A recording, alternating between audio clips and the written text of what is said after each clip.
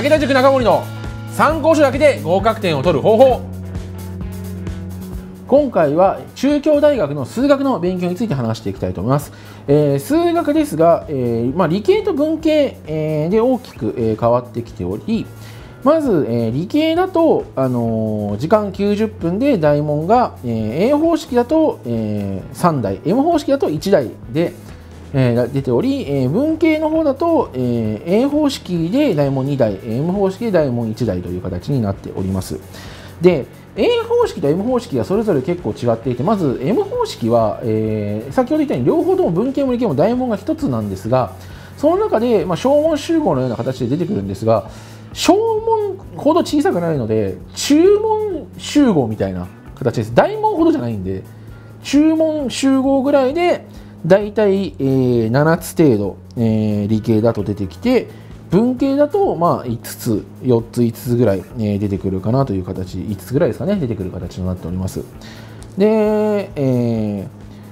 M、A 方式に関してはですね、えー、まあ大体どちらも時間30分で台も1台解くぐらいの形にはなっているんですが、まあ、あの大門1がマークシート、えー、中心で大門2、3が記述、えー、という形、えー、ですね。で、えー、問題の難易度そのものは日大レベルで十分対応できる内容になっておりますが、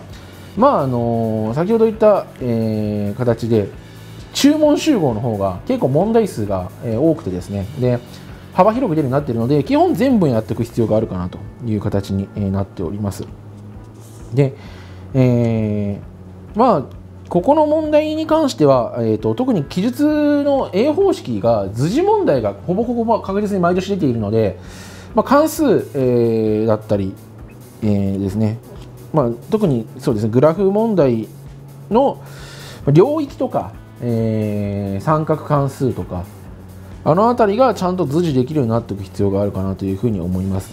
で先ほど文系と理系って分け方したんですけどあの A 方式に関してはあの工学部とそれ以外っていう区分になっておりますのであの正確に言うと M 方式は、文系と理系そして A 方式は工学部とその他、えー、という分け方になってますので、まあ、そこは注意してください。えー、で、えー、問題の難易度が基礎的な分ですね、えー、日大レビューの参考書を取りこぼしなく全分野ちゃんとやるということさえできていれば、えー、十分対応できる、え難易度だとは思います。で、えー、数学が、えー、文系だと、えー、B が出ないで A だけ出てきたりしますのでそこもちょっと、え気をつけておきましょうその分そのやんなくていい範囲が出たりしますので逆に普段目にしないことがその分出やすくなったりっていう可能性もありますので、まあ、そこも、え気をつけておいた方がいいかなというふうに思います。まあ、あの簡単な問題を落とさないで苦手分野がなければ、えー、ほぼほぼいけるかなとは思いますので、えー、そこはですね、えー、しっかりミスらないように、えー、仕上げていく、えことを心がけてください。なお、先ほど言ってた、え A 方式でも、その、工学部以外に関しては B が必要ないので、どちらも B なしで対策できますので、ま、まあ、他の学校を受ける場合だとほぼやることにはなるんですけれども、まあ、ここをメインで受ける場合には、まあ、文系とか、えーまあ、工学部じゃないところであれば、A までしかやらなくて、1A、2までしかやらなくてもですね、B なしでいけますので、まあそこ、ちょっと負担が減るので、え覚えておくといいかなと思います。以上が、え数学の勉強となります。